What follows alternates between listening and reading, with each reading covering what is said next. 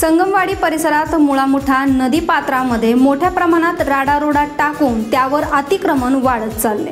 या अतिक्रमणाकडे पुणे महानगरपालिका कानाडोळा करत असून नेमकं कोणाला पाठीशी घातलं जातंय असा प्रश्न या निमित्ताने उपस्थित होतोय. तर भरावामुळे नदीची वहन क्षमता कमी होऊन मोठा फुगवटा निर्माण झाला तर भविष्यात मोठ्या पूर परिस्थितीला नागरिकांना सामोरं जावं लागेल. त्यामुळे पालिका प्रशासनानं वेळेच याकडे लक्ष द्यावं अशी मागणी खासदार वंदना चव्हाण यांनी केली. तर पावसाळ्यापूर्वी नदीपात्रांमध्ये राडारोडा टाकणाऱ्यांवर आणि अतिक्रमण करणाऱ्या अधिकाऱ्यांवर कारवाई करू असं पुणे महानगरपालिकेचे आयुक्त शेखर गायकवाड यांनी सांगितलं.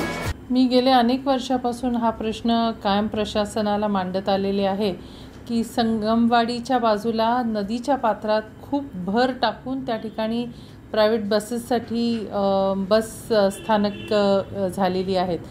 मी एअरपोर्टहून ज्यावेळेला दिल्लीहून पुण्याला येते किंवा पुण्याहून दिल्लीला जात असते दरवेळेला हे नवीन नवीन मला जागा रिक्लमेशन्स केलेले दिसतात.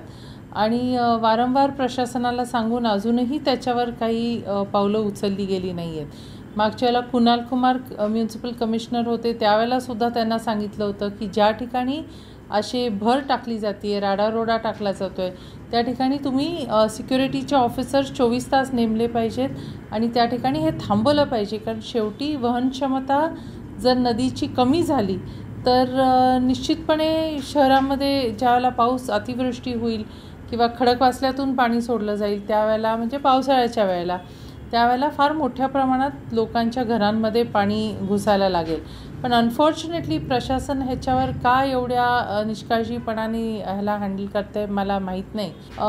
आता तर नव्याने नायडू हॉस्पिटलच्या बाजूनी सुद्धा भराव टाकायला सुरुवात झालेली आहे. त्यामुळे काल मी आणि काही एन जी ओजनी मिळून सारंग यादवडकर असतील आणि बाकी त्यांचा ग्रुप असेल आम्ही सगळ्यांनी मिळून कमिशनरना पत्र दिलेलं आहे. माध्यमांच्या थ्रूसुद्धा लोकांपर्यंत हा विषय पोचावा आणि प्रशासन जागं व्हावं ह्यासाठी सुद्धा प्रयत्न केलेला आहे. वाट बघतोय की प्रशासनाने ह्याच्यावर ठोस पावलं उचलावीत.